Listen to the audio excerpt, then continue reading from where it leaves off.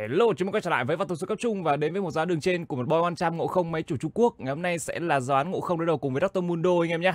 Boy one trăm gu công lên rất nhiều sát thương và cùng xem xem anh chàng này sẽ có một giáo án như thế nào nào. Let's go.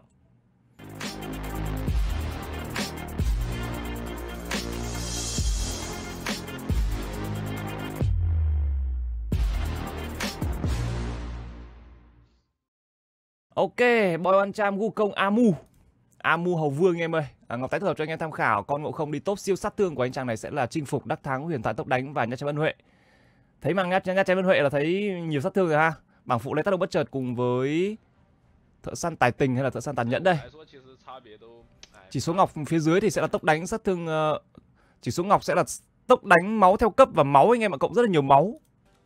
Và sẽ là thợ săn tàn nhẫn để lấy thêm uh, tốc độ di chuyển ngoài giao tranh. Kiểu đấu gặp một con chống chịu khu đường trên là Dr. Mundo thì cùng xem xem là hướng lên trang bị của anh chàng này sẽ có những món trang bị nào. Và sức sát thương của ngộ không khi mà lên full sát thương thì nó sẽ làm sao anh em nhé. Trận đấu diễn ra ở mức rank tầm kim cương của mấy chủ Trung Quốc thôi anh em ơi. Yo, cùng xem xem là Boyan Cham Wukong sẽ có màn debut trên văn tù sư cấp trung như thế nào nào. Khởi đầu kiếm Doran. Ngộ không thì nó đã được búp sức mạnh ở phiên bản uh, như là 14.5 thì phải. Nó là phiên bản mà ngộ không đi top được và nó có khả năng chống chịu rất là tốt nhờ cái nội tại được tích số nhanh hơn cái đấu gặp một con Doctor Mundo khu đường trên thì uh, là cái đấu gặp một con chống chịu cũng có khả năng đi đường cấu rỉa rất là khó chịu. Và ngộ không đi tốt thì lại không có được thiêu đốt để lấy giảm hồi máu đánh cùng với Doctor Mundo. Thì không biết là kèo này có gặp khó khăn gì nhiều hay không. Và cách xử lý với cái tốc hành này ra làm sao. Ok, xử lý đi đường cấp 1 đánh với cả Doctor Mundo chắc là nâng E farm lính an toàn ha. Một là các bạn có thể ôn in luôn bằng E với chinh phục tích số cực kỳ nhanh vì E nó vừa có được lượng sát thương, nó vừa giúp cho ngộ không có tốc đánh cực kỳ cao. Mundo cấp 1 thì có thể nâng E hoặc là nâng Q. Một pha E đánh tay và vừa ăn lính vừa cấu rỉa phía bên kia nhưng cũng nhận lại một lượng sát thương tương đối. Cố gắng lách Q của Dr. Mundo. Sau đó thì à, ôn in luôn với E à. Một pha lao lên chơi hit tay đôi với E đổi với Q, Mất máu tương đối nhiều đến từ cả hai bên rồi Cấp độ 2 dành cho Amu với kỹ năng Q cũng chỉ có thể farm lính mà thôi. Kèo cũng không đi tốt mà gặp những con đấu sĩ khu đường trên chắc là sẽ phải xử lý nhiều hơn. Nhưng mà kèo này gặp một con chống chịu như Dr. Mundo thì đối phương cũng đang đánh rất là an toàn. Và Mundo phía bên kia quyết định không mang theo giáp cốt. Thường thì đánh cùng với ngộ không thì ờ, sẽ có những cái ngọc như là giáp cốt để chống sốc sát thương với EQ của ngộ không ở level 1 rất là tốt. Nhưng Mundo chắc là đánh bằng ngọn gió thứ hai rồi. Cấp độ 3 đã có sẽ là một tình huống reset, tân lính có xe to vào trong trụ. Sau đó thì à, Belvet đang có một pha di chuyển xâm lăng rừng ở phần rừng bùa xanh của bên phía team 1 và cái tân lính này chắc là không làm được gì Mundo rồi. Có cấu gì thì cũng sẽ là một pha QW mà thôi. Nhưng quyết định của anh chàng này là giữ lại cái lượng năng lượng để chờ được lính phía sau nó đẩy lại. Và Belvet thì đang bị tấn công, mất chiến công đầu luôn rồi. Một pha cướp rừng nhưng không đủ khả năng rút lui với khả năng đu bám của Viego.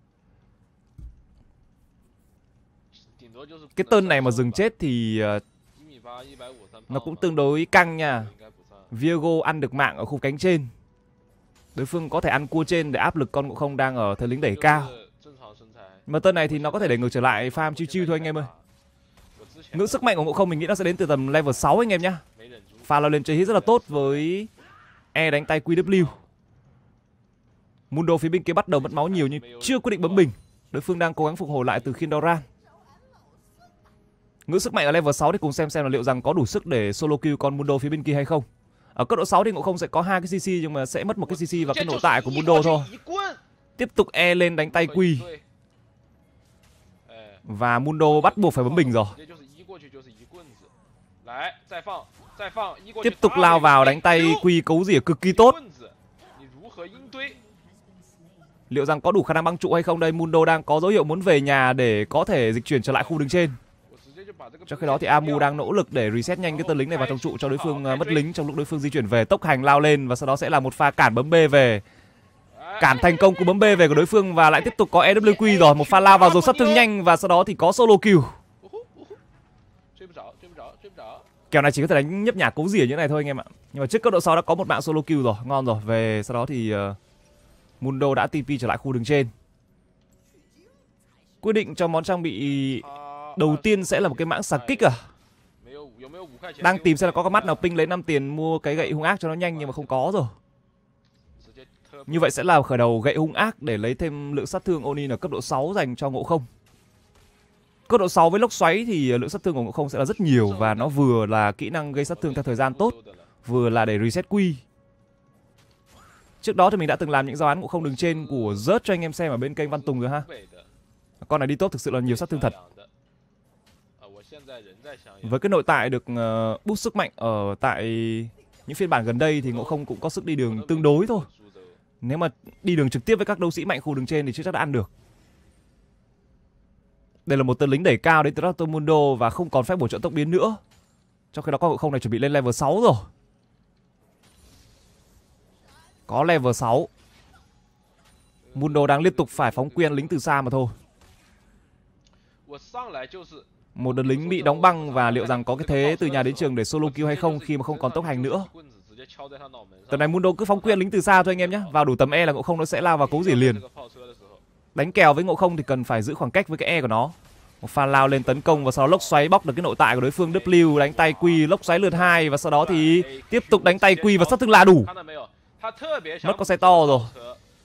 Mà sức Onin ở level 6 của Ngộ Không thực sự là rất mạnh với hai lần lốc xoáy. Lốc xoáy lượt 1 thì nó vào cái nội tại của Mundo nhưng mà lốc xoáy lượt 2 thì nó có CC. Và các bạn thấy là reset quy cực kỳ nhanh với những pha lốc xoáy như vậy. Nó đủ để con Ngộ Không này có được lượng sát thương và solo kill được Mundo phía bên kia. Tốt rồi, sau khi có được cấp độ 6 thì lại tiếp tục có thêm một mạng solo kill nữa. Và thường thì Ngộ Không nó sẽ lên đồ theo cái kiểu là có thủy kiếm anh em nhé. Bởi vì những cú quy của Ngộ Không nó tương thích với cái thủy kiếm rất là tốt. Mà bộ kỹ năng của Ngộ Không thì nó giúp cho cái quy hồi cực kỳ nhanh, quy lại còn có cả trừ giáp nữa. Nhiều quyết định của ván này hoặc là cái lối chơi của anh chàng này nó luôn luôn là cái mãng xà kích.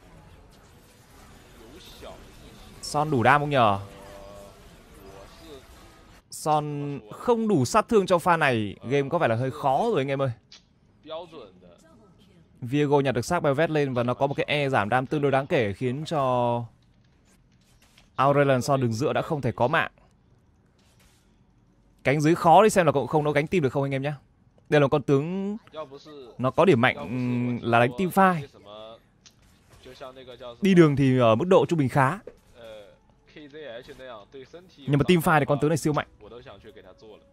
Một chất tướng team phai mạnh lại có lợi thế đi đường thì ờ, sức gánh tim của nó là cực kỳ cao.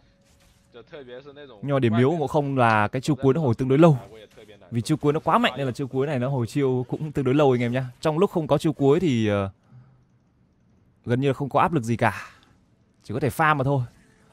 Thậm chí đang bị Mundo cấu rỉa liên tục với những tình huống giao phay nhiễm khuẩn. Hai quy liên tục vào mồm đến từ Mundo. Thốn ha. Chiêu cuối sẽ có lại sau 5 giây nữa, đối phương không có tốc biến, từ nhà đến trường. Một pha lao lên đánh tay E đánh tay Quy, sau đó lốc xoáy lượt một. W còn gõ Quy trước. Nhà W lên và có mạng dành cho Belvet rồi. Cứ mỗi lần có chiêu cuối là lại có mạng anh em à. fan thậm chí là còn tốc hành để từ nhà đến trường nữa. Và tốc hành tất nhiên là nó sẽ hồi sớm hơn cái tốc biến của đối phương rồi. Một chất tướng chống chịu như là Dr. Mundo cũng không thể nào chịu nổi lượng sát thương đến từ ngộ không. Trước đây thì mình hay làm những giao án ngộ không đường trên của cả Sochomong nữa. Ngộ không cũng là một trong số những con tướng ở khu vực đường trên mà Sochomong đánh rất là nhiều. Nó chỉ đánh ít hơn so với những con tướng tủ như Darius hay Set thôi. Tuy nhiên thì uh, ngộ không đi tốt của Sochomong sẽ chơi theo phong cách khác, phong cách thiêu đốt. Cùng xem xem là hướng lên trang bị của anh chàng này sẽ có những món trang bị nào bên cạnh cái mã xà kích này anh em nhé. Không như công nhận là mã xà kích thì đam to thật. Đây là một trang bị sát lực mà một trang bị sát lực và nó có khả năng gây sát thương lan để giúp cho ngộ không đẩy đường nhanh hơn ở đường cánh. Đối với Sochomong thì hay chơi theo cái kiểu ngày xưa là búa rìu. Hay là đi rừng ngày xưa thì con ngộ không nó cũng sẽ lên búa rìu vì như mình đã phân tích thì nó tương thích rất là tốt với cái quy của ngộ không. Nhưng mùa này thì không còn búa rìu nữa rồi. Mundo khai thác được một lớp khiên trụ, sau đó thì ờ, rút lui. Nào cùng xem xem là sức sát thương của mãng xà kích thì uh, liệu rằng có đủ khả năng solo kill đối phương với một cú lốc xoáy thêm một lần nữa hay không? 30 giây nữa anh em nhé. 30 giây nữa chúng ta sẽ được kiểm chứng cái lượng sát thương đến từ ngộ không có lốc xoáy và mãng xà kích nó sẽ khủng khiếp cỡ nào. Mundo là một con tướng có khả năng phục hồi. Và ở dạng chiêu cuối thì nó hồi máu cũng nhiều nữa.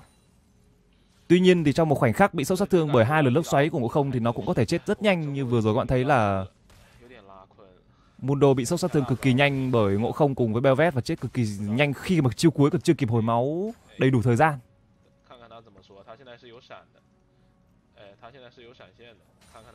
Pha này là pha mà con Mundo này nó sẽ có tốc biến đấy anh em nhá. QW tốt. Cái trích QW này là cái trích mà cả bóng lẫn người nó đều gây sát thương. Và nó là những cái nhịp cấu gì ở cực kỳ tốt. Và sau khi mắc vào kỹ năng Q thì ờ, ngộ không của anh chàng này mắc vào kỹ năng E bây giờ thì chắc là mắc quy mắc e anh em ạ. Trước đây thì sao cho băng đi đường thì mình thấy là sao cho băng sẽ cộng kiểu như là mắc quy và mắc w. Vì cái chiến binh tinh quái thì nó cũng uh, giúp cho không quẩy giao tranh rất là tốt. Nhưng mà để xuất sát thương nhanh thì cứ quy e thôi anh em ơi. Bởi vì con ngộ không của anh chàng này lên rất là nhiều sát thương nên là cứ đánh bằng quy e thôi. Hỗ trợ áp lực ăn ờ, sâu hư không dành cho Belvet trước đó là một pha, ôi, Mundo kích chiêu cuối luôn ạ. Mundo kích chiêu cuối lấy máu luôn rồi. Cảm giác là máu hơi yếu nên là Mundo quyết định kích chiêu cuối sớm để lấy máu đi đường. Và tránh những pha sốc sát thương. Nhưng mà tầm này cứ vào đủ tầm e là chết anh em nhé. Mundo nên giữ vị trí xa khỏi cái e của ngộ không đi thôi. Hoặc là kể cả những con tướng đường trên tay dài như là dây các thứ chẳng hạn. Một pha WE đánh tay quy kích mạng xà cực kỳ tốt. Mundo mất máu quá nhiều rồi. Tốc biến còn nhưng mà liệu rằng có bị băng trụ hay không đây? Một pha tốc biến bỏ chạy đến từ Mundo nhưng vẫn chết ạ. à. Những cú quy cực kỳ nhiều sát thương tới từ cái lối chơi ngộ không mãng xà kích của anh chàng này và sau đó thì liệu rằng có về được hay không? Đang có đánh nhau khu vực sông trên và té thôi anh em mà cảm giác là không còn gì để PK nữa rồi. Chấp nhận mất xe to anh em nhá. Và dừng mid PK22 thì đã bị đối phương lấy tới hai mạng. Một pha bấm B về kịp tới từ Amu và sau đó thì TP trở lại khu đường trên kịp hay không? Không kịp để đón xe to rồi. Tiếp tục đóng thêm sát lực, không hề mua giày luôn. Cứ sát lực mà gõ anh em ạ mà ngộ không những con đấu sĩ mà nó lên full sát lực thì đam nó cực kỳ rác chỉ là cái lượng chống chịu thì nó sẽ bị hạn chế tương đối nhiều. Nhưng cùng xem xem đấu hai sẽ một cái gì anh em nhé nếu như theo cái kho đồ sát lực đường trên của các con đấu sĩ giống như kiểu là Atrox thì nó sẽ là một cái Atrox bóng tối để lấy thêm tí máu. Một phát tốc hành lao lên tính từ nhà đến trường với những tình huống đánh tay và sau đó thì vòng ra được phía sau đối phương đánh tay quy, đối phương không có tốc biến, cứ thế mà đánh tay thôi, hồi e là chết. Trời ngợp Mundo lên rất là nhiều chỉ số chống chịu anh em nhé. Không phải là Mundo tham đam đâu. Đối phương lên cực kỳ nhiều giáp. Nào là Giáp canh ngục, nào là áo choàng gai Nào là tàn tích Bemi lấy máu Nhưng mà sức chống chịu thì nó không đủ. Và khả năng tính toán sát thương của anh chàng này là cực kỳ tốt. Đang cố gắng giải quyết trụ một toàn bản đồ Nhưng sức sát thương chưa đủ. Virgo có mặt nhưng mà cú bắt choáng nó chỉ vào cái Phân thân của Amu mà thôi. với mã xà kích thì đẩy đường cũng nhanh. Cái món trang bị này nó cũng được thay thế bằng những món trang bị khác uh, như kiểu là dìu uh, mãng xà chẳng hạn. Pha này thì sao? Solo một v một với viego cực kỳ tốt không cần chiêu cuối ạ. Trụ trước người sau và anh chàng này vẫn có thể xử lý được cái mạng của viego. Gõ quy mất một cái quy và đám trụ rồi anh em nhá. sau đó thì e đánh tay liên tục. Sau đó thì đánh tay w dính cái tuyệt mệnh. Đánh tay quy mãng xà kích đánh tay. Tốc đánh là 1.34 đến từ cái cân đầu vân và đủ sức để lấy cái mạng shutdown của Virgo phía bên kia trước khi về nhà với 2k1 tiền. Pha này thì có chiêu cuối nhưng liệu rằng có đủ sức để giết một con Mundo với khoảng chừng 500 máu còn lại hay không? Có vẻ sẽ là một tiếng thử rồi, đánh tay ờ, Q sau đó lốc xoáy, sau đó thì tiếp tục E vào lốc xoáy lượt 2, W đánh tay Q. ôi mất sai rồi. Tiếp tục đánh tay và sau đó thì né được cái dao phay của đối phương gõ một QE và đánh tay với mã xà kích và đó là sát thương đủ. 500 máu còn lại nhưng mà vẫn đủ khả năng để solo kill Dr. Mundo với cái lốc xoáy được ừ, xử lý tốt. 2.000 rưỡi tiền rồi, giàu rồi anh em ơi. Không công nhận đam ảo thật. Đam rất ảo là đằng khác. Kiếm ma Yumu thì lại nhiều đam quá không ta? Kiếm ma Yumu ở món trang bị thứ hai dành cho Wukong. Tầm này là ngộ không này đánh bằng EWQ được rồi anh em nhé. Tầm này là có thể suy nghĩ đến câu chuyện là đánh bằng EWQ được luôn không cần đến lốc xoáy nếu như đối phương máu giấy, ví dụ như là Viego, ví dụ như là bộ đôi đường dưới đối phương. Còn đánh với Doctor Mundo mình nghĩ là cần chiếu cuối đó, hoặc là cần cái tốc hành để đánh cái thế từ nhà đến trường, nhằm có được khả năng đu bám tốt hơn. Gu công phun sát lực. Hỗ trợ áp lực để giúp cho Bevet có được con sứ giả cánh trên. Sau đó thì quay lại đường trên để xử lý một con Doctor Mundo đang level 9 thua 3 level và không còn nhiều kỹ năng để có thể bỏ chạy nữa. E vào với kiếm mà yumu đánh tay với mãng xà kích, tiếp tục đánh tay quy, w còn. Đang cố gắng xử lý ờ, xe to trước đã ha. Tiếp tục lao vào tấn công, xe to thì đúng đối phương hết lính thì ờ, xử lý sau cũng được. Không cần chiêu cuối anh em ạ. Pha này thì chiêu cuối sẽ được tiết kiệm lại cho cú tp xuống đường dưới, nhưng mà đường dưới thì toang hơi sớm rồi. Quyết định về nhà TP xuống bot, nhưng mà bot đối phương đã rút lui sau một tình huống ăn được trụ và cả mạng của Kaisa cũng như là Sren nữa. Ngưỡng sức mạnh là bốn sâu hư không cùng với sứ giả. Tiếp tục cùng với Bebet khoét vào trụ hai đường trên. Lissandra có mặt và sau đó thì là một pha lao vào đến từ Lissandra. Mất máu hơi nhiều nhưng vẫn có một nghìn tiền shutdown trước khi lên bảng. Ô có Lissandra này khỏe thế, sách trường về dài mấy chục số rồi. Vãi 23 số sách trường về dài ạ. Đam thốn thực sự. Nhưng mà ngộ không của Amu vẫn kịp có một mạng shutdown một nghìn tiền trước khi lên bảng. Và vẫn kịp có trụ hai đường trên thì đang cầm đó là hai k hai tiền. Những con như trick này đánh bằng EWQ là chết rồi anh em nhé. E vào đánh tay WQ và sau đó thì đánh tay với mã xà kích. Nó có thể khiến cho những con nhiều trick mặc dù đang rất xanh nhưng mà không có nhiều chống chịu sẽ bị chết sốc. Một ván đấu mà team đang ở thế khó ha, quyết định TP hay không đây. Đang có đánh nhau khu vực đường giữa và trick bắn được với cái tốc hành, sau đó thì Viego tuyệt mệnh lấy thêm mạng của Belvet, đồng đội chết liên tục một game khó và để xem xem là sức gánh team đến từ ngộ không phu sát lực của Amu nó sẽ có đủ tốt để lật lại một game đấu đang khó đấy như thế này hay không. Đừng giữa fit 05 và các bạn thấy là đừng giữa đối phương mà mua sách trời mề dài tới hai mấy số là thấy cái mid rừng nó cũng hơi lủng rồi. Pha này thì đang chờ con Viego cướp bùa xong nó di chuyển ra, đánh tay quy tiếp tục đánh tay và sau đó thì tiếp tục đánh tay đánh tay quy w quy một mạng đã có tiếp tục bị dính chiêu cuối không không tỉnh được không tỉnh được con Vigo xanh đấy anh em nhá con Vigo hai đồ đó nhưng cũng không nó gõ thì cũng đi thôi chỉ là không có giày thủy ngân hay là không có đủ ờ, sức chống chịu để mà đánh cùng với Trick và Lissandra đối phương cũng xanh nữa Đường dưới thì đã có một pha solo kill dành cho Aurelion 05 mà. 05 nhưng mà vớ được quả Dr. Mundo 07. Đối thủ xứng tầm ha. Áo choàng bóng tối ở món trang bị thứ ba. Tiếp tục là một trang bị sát lực. Dịch chuyển thì vẫn còn, pha này thì ờ, chắc là tiết kiệm dịch chuyển hay là dịch chuyển lên đường trên luôn nhỉ? Quyết định đi xuống dưới bot để cái way tốt cho Kaisa. Tầm này thì cần ờ, người đép way mid nhá. Nếu mà Son đi đường cánh cảm giác là hơi khó thì để tôi đi đường cánh tôi ăn trụ bot cho. Cái trụ bot này để ngộ không ăn nó dễ hơn anh em ạ. Son ăn thì nó sẽ hơi nguy hiểm một chút. Vì tầm này mà Viego nó ló đầu xuống đường dưới là con Son này có thể bị nữa. Đối phương. Quyết định là không đánh đến từ Lissandra.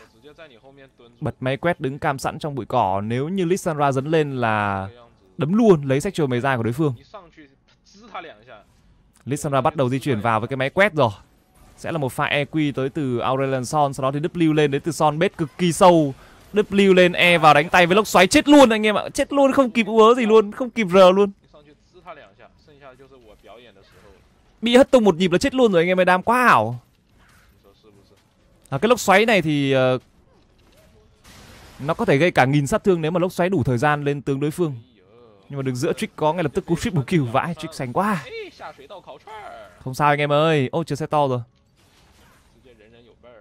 Mấy cái chuột nhắt này tí hầu vương lo hết. Nhặt được xác của Kaisa lên, sau đó Virgo tiêu truy kích, nhưng mà anh chàng Amu này đang cố gắng để giải quyết trụ trước người sau. Đấm không? Solo bạn. Virgo chạy rồi. Virgo nhìn cũng không ba đồ sát lực chạy rồi. dén ngang đối phương cố gắng trừng phạt để uh, triệt tiêu đi đợt lính nhưng mà sát thương đến từ ngộ không sát lực vẫn là đủ để ăn trụ. Sau đó thì W sang bật sẵn cái quy sau đó thì quy đó nó sẽ giải quyết luôn mấy con người đá nhỏ.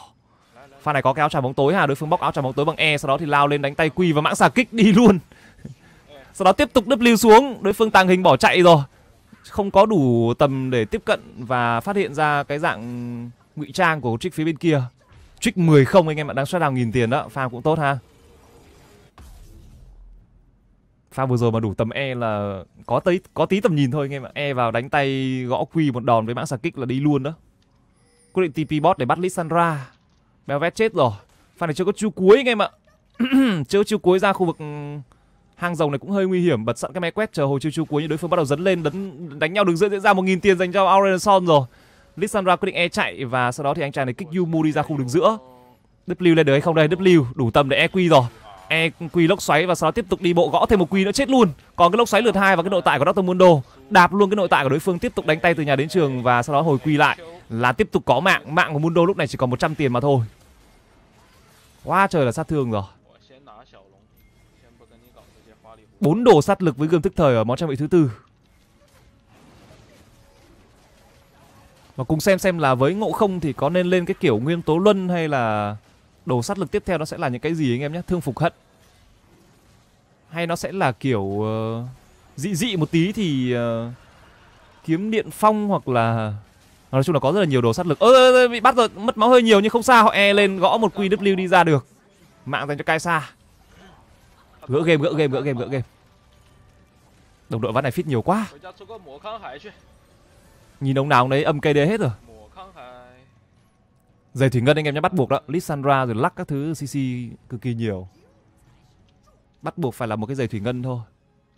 Nó cái sao tầm này ra mid đi ông ơi để tôi đẩy cánh cho, cho ông lên cánh ông bị bắt ông lấy gì ông chạy đây. Tầm này mà đối phương lên đường cánh để bắt ngộ không là nó sẽ bắt ngược lại đó. Baron không nhờ đối phương có thể đang ăn baron đó. Không đối phương chưa ăn. Ồ oh, mundo đẩy các bạn hơi cao bạn ơi con mundo đến trăm tiền rồi. 100 tiền cộng thêm cho Kaisa hay là Amu mà thôi. 100 tiền cho cái xa và 50 tiền dành cho Amu. Như một con rip, như một con xe anh em ạ.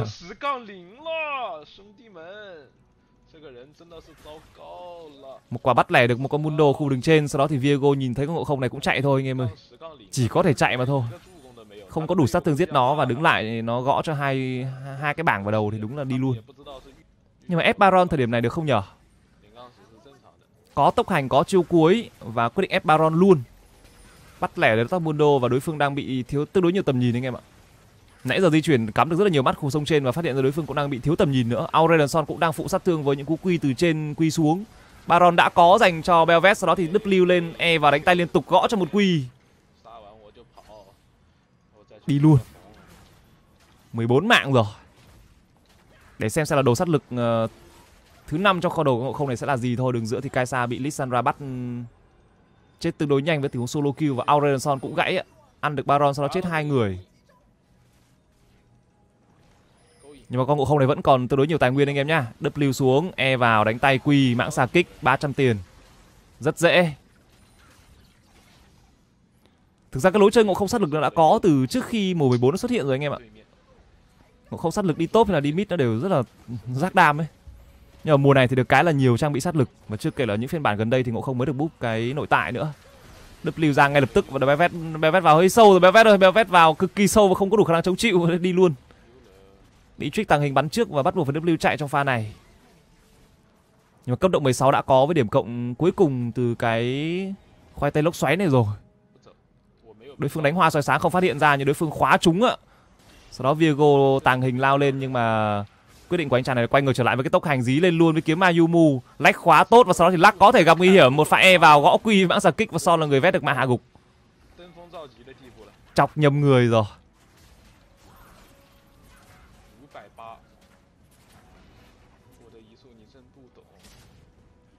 Quyết định sẽ là di chuyển xuống khu vực đứng dưới. À, dàn trụ ngoài đối phương thực ra cũng đã bị bóc hết rồi anh em nhé. Chỉ còn uh, những cái trụ bậc thềm thôi. Trụ bậc thềm đứng giữa cũng đã mất rồi tiếp tục di chuyển với máy quét nhưng đối phương đã có tầm nhìn và quyết định đi ngang qua khu đường giữa để tấn công Lissandra.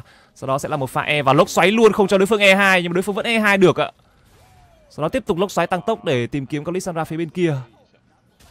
Đánh hạt thông nổ e vào, đánh tay với mãng xà kích. Sau đó thì WQ đánh tay liên tục, sát thương quá nhiều. Viego tốc biến đập mặt vào tường và lên bảng, Trick đang cố gắng bắn. Gõ cho một Q e vào, đánh tay đánh tay đánh tay, sát thương không đủ rồi. Lissandra di chuyển tới với con đường băng giá và sau đó thì bật máy quét tới Belvet đối phương tốc biến bỏ chạy. W không biết có trúng hay không, chắc là không trúng rồi. Nếu trúng thì là đã hồi quy dành cho Belvet. Belvet tiếp tục truy đuổi vào vị trí của Lissandra. Lissandra còn chiêu cuối, Belvet lướt về được.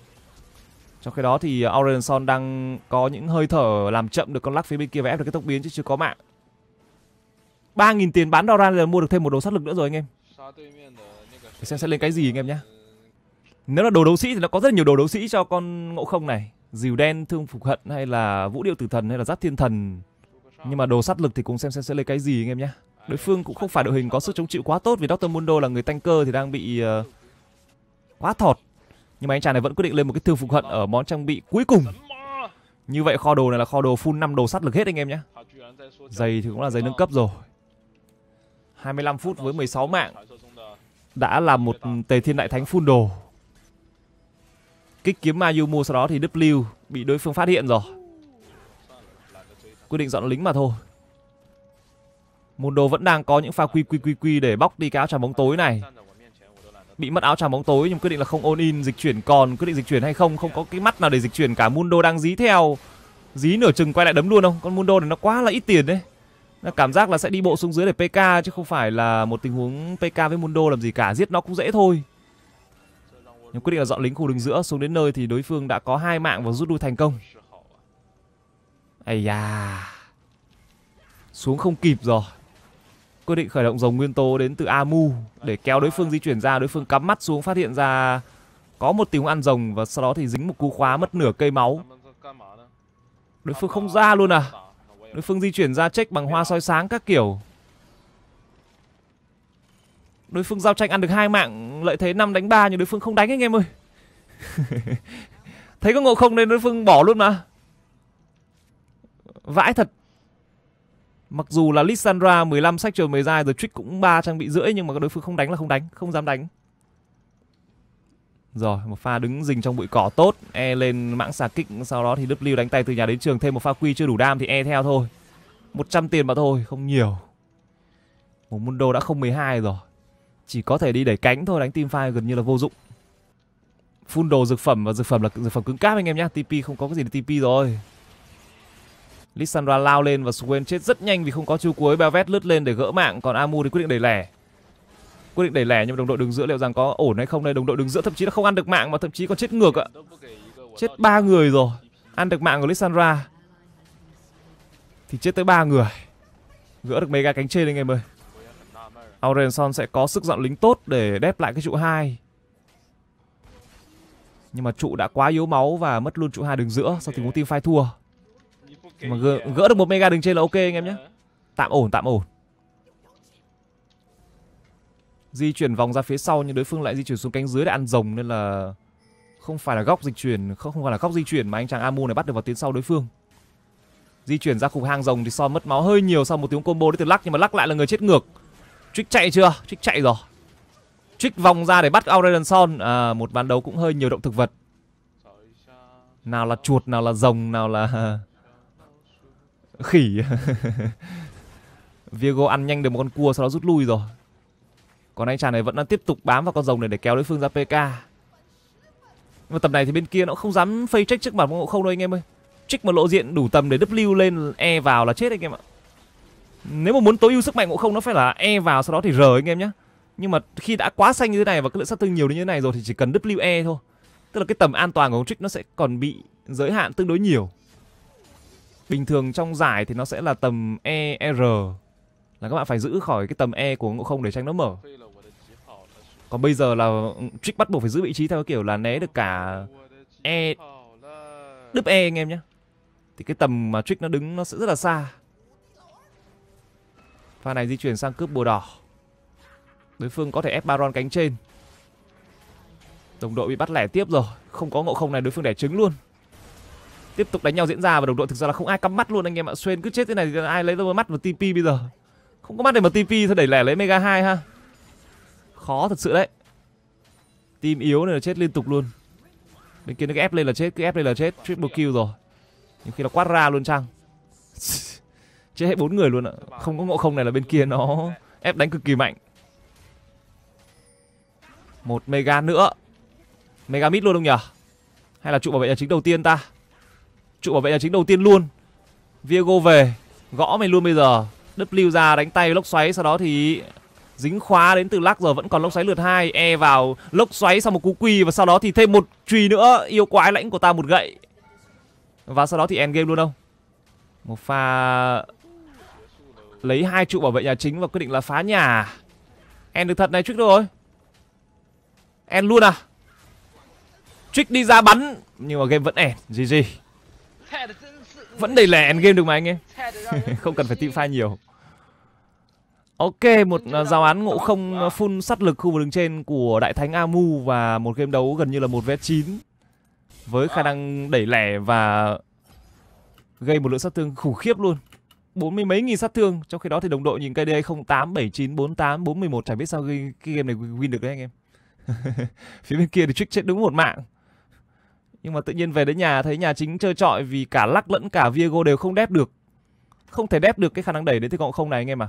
Rồi, cảm ơn anh em rất là nhiều đã theo dõi một giáo án của một boy trăm Wukong máy chủ Trung Quốc, một màn gánh team gần như là một vé 9 với 19 34 KDA xử lý kèo với Dr. Mundo thì đã quá tốt rồi ha. Hẹn gặp lại anh em ở giáo án khác anh em nhá. Bye bye.